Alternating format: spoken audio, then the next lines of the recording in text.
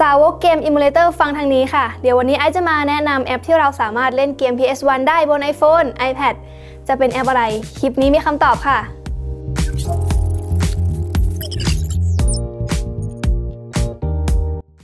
สำหรับแอปที่ไอซ์อยากจะมาแนะนำในวันนี้นะคะ ชื่อว่าแอป Gamma Game Emulator ค่ะ เป็นแอปที่เราสามารถจำลองเครื่องเล่นเกม PS1 เอามาอยู่บน iPhone iPad ได้ค่ะ โดยแอปนี้นะคะ พัฒนามาจากนักพัฒนาที่มีชื่อว่าเบนจามินสตาร์ค่ะ สำหรับใครที่อยากดาวน์โหลดนะคะ สามารถมาดาวน์โหลดได้ที่ App Store ได้เลยค่ะ โหลดได้ทั้ง iPhone แล้วก็ iPad เลยนะ และตัวแอปนี้นะคะ รองรับตั้งแต่ iOS 15 และ iPadOS 15 ขึ้นไปค่ะนี่ไอก็โหลดมาเรียบร้อยแล้ว แล้วเกมที่ไอจะเล่นในวันนี้นะคะ เป็นเกมที่แบบน่ารักน่ารักที่ผู้หญิงเขาเล่นกัน เกม Buddy Roll นั่นเองค่ะ กดเข้าไปเลย เดี๋ยวไอจะมาลองเล่นแบบแนวตั้งก่อนนะคะว่าสนุกไหม เอ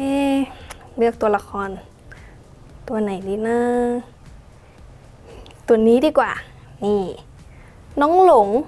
แปลงร่าง อุ๊ย เสือดาวกับเสือสมิง ปึ๊บปึ๊บปึ๊บ สำหรับฟีลลิ่งในการเล่นเกมนะคะ ความเสถียรในการกดไปเนี่ย พอกดไปปุ๊บ การตอบสนองในเกมเนี่ยไวมากเลยค่ะ ถือว่าทำได้ดีพอสมควรเลยสำหรับตัวเกมนะคะ ไอ้ลองเล่นแบบแนวตั้งดู ในตัวปุ่มเนี่ยมันจะอยู่ด้านล่าง จะมีปุ่ม R กับปุ่ม L เนี่ยที่อยู่ด้านบน แล้วตรงซ้ายมือเนี่ยค่ะก็จะมีปุ่มปรับทิศทางอยู่ทางซ้ายมือ แล้วตรงขวามือนะคะ ก็เป็นปุ่ม A B หรือว่าปุ่มสี่เหลี่ยมที่เราเอาไว้ต่อสู้นั่นเองค่ะ แล้วในแอปนี้นะคะ เราสามารถเซฟเกมได้ด้วย นี่ไอ้ก็เซฟเกมไปเลย เรียบร้อย ถ้าเราอยากกลับมาเล่นเนี่ยเราก็สามารถกลับมาเล่นได้เลย โดยไม่ต้องเริ่มใหม่ค่ะ เดี๋ยวไอ้จะลองมาเล่นแบบแนวนอนกันว่าจะเป็นยังไงนี่ปุ่มมันจะเหมือนกันไหมอ่าแนวนอนปุ่มไม่เหมือนกันค่ะ ในส่วนของแนวนอนนะคะ ก็คือปุ่มมันจะจางลง แล้วก็ปุ่ม R กับปุ่ม L เนี่ยจะไปอยู่ด้านบนอยู่ตรงนี้เลยค่ะ แต่ตอนกดเนี่ยไอไม่รู้ว่ามันถนัดไหมปึ๊บปึ๊บปึ๊บ ไอรู้สึกว่าการเล่นแบบแนวนอนอะถนัดกว่าแบบแนวตั้งนะคะ เพราะว่ามันพอดีมือพอดีเลย เดี๋ยวลองเล่นดู ปุ๊บ ส่วนปุ่ม L ปุ่ม R นะคะ พอเรากดเข้าไปเนี่ยมันก็สามารถแปลงร่างได้เลย นี่ ปุ๊บปุ๊บปุ๊บ จากการที่ไอได้เล่นแบบแนวนอนนะคะไอรู้สึกว่าเล่นแบบแนวนอนเนี่ยมันพอดีมือ แต่พอมาเป็นแนวนอนแล้วเนี่ยปุ่มแสดงผลเนี่ยมันจางลงค่ะเทียบกับแนวตั้งเนี่ยที่ปุ่มมันจะเข้มกว่าสำหรับใครที่สงสัยนะคะว่าแอปนี้รองรับอุปกรณ์เสริมหรือเปล่าไอได้ไปลองเล่นมาแล้วค่ะ โดยการต่อกับจอยเกมของ PS บอกเลยนะคะว่าเล่นได้ปกติลื่นไหลสุดๆแล้วไม่มีการแหลกอะไรเลย พอเรากดเล่นไปปุ๊บเนี่ยตอบสนองได้ทันทีเลยค่ะ มาต่อกันที่ iPad เลยค่ะ เดี๋ยวไอจะมาลองเล่นเกมใน iPad ดู นี่ก็เข้าไปเลย ไอจะลองเล่นใน iPad ดูแบบแนวตั้ง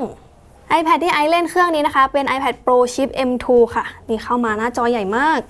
นี่เดี๋ยวลองเล่นดู ในส่วนของจอแสดงผลบน iPad นะคะ ตัวปุ่มบังคับเนี่ยต่างจากของ iPhone ค่ะ เราจะเห็นตัวปุ่ม L ปุ่ม R ได้ชัดกว่าของ iPhone นะ แล้วก็ปุ่มเมนูปุ่มสตาร์ทเนี่ยก็คือเห็นได้ชัดกว่า ในส่วนของปุ่มควบคุมซ้ายขวาค่ะ ก็อยู่ซ้ายมือ แล้วก็ปุ่มสามเหลี่ยมสี่เหลี่ยมเนี่ยก็อยู่ขวามือค่ะ เห็นชัดมากยิ่งขึ้นนะ เดี๋ยวลองเล่นดู ปึ๊บปึ๊บปึ๊บ iPad มันใหญ่มาก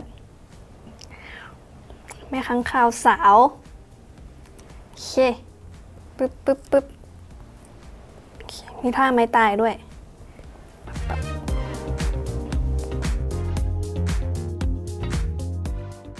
ต่อไปนะคะ เดี๋ยวไอ้ลองมาเล่นแบบแนวนอนบ้างดีกว่าค่ะ นี่ โอ้ ในส่วนของแนวนอนนะคะ ตัวปุ่มบังคับเนี่ยมันจะจางลง แล้วก็ปุ่ม select กับปุ่ม start เนี่ยจะอยู่ด้านล่างค่ะ ส่วนปุ่มเมนูนะคะ จะอยู่ด้านบน แต่สำหรับใครนะคะที่มีเคสเนี่ยไอ้ว่าถ้าเอาใส่เคสแล้วก็วางบนโต๊ะแล้วก็เล่นเนี่ยคิดว่าน่าจะสะดวกกว่านะคะ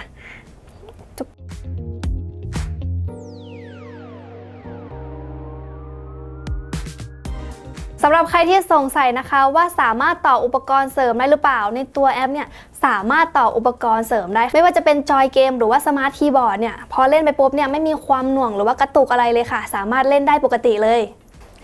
เดี๋ยวไอจะมาสรุปให้ฟังนะคะว่าหลังจากที่ไอได้เล่นบน iPhone แล้วก็ iPad แล้วเนี่ยไอชอบอันไหนมากกว่ากัน ในความคิดเห็นของตัวไอนะคะไอรู้สึกว่าไอชอบเล่นบน iPad มากกว่า ด้วยความที่มันเนี่ยสามารถต่อกับจอยเสริมได้ด้วย พอเราเล่นไปปุ๊บเนี่ยเราก็เหมือนกับเล่นเกมจริงๆเลยรู้สึกว่าย้อนยุคไปเหมือนตอนเด็ก ๆ เลยค่ะ ในเรื่องของความไหลลื่นนะคะ รู้สึกว่าพอกดไปปุ๊บเนี่ยแอปตอบสนองได้ไวมากเลยค่ะ ไม่มีความหน่วงอะไรเลยนะคะ สำหรับการต่ออุปกรณ์เสริมนะคะ ในเวอร์ชั่นล่าสุดเนี่ยที่เพิ่งอัปเดตไปมันหมาดๆเลย สามารถต่อกับจอย PS ได้ค่ะ เล่นได้ทั้งบน iPhone แล้วก็ iPad เลยนะสำหรับใครนะคะที่อยากเล่นก็สามารถไปดาวน์โหลดได้ที่ App Store ได้เลยค่ะ เป็นยังไงกันบ้างคะสำหรับแอป Gamma Game Emulator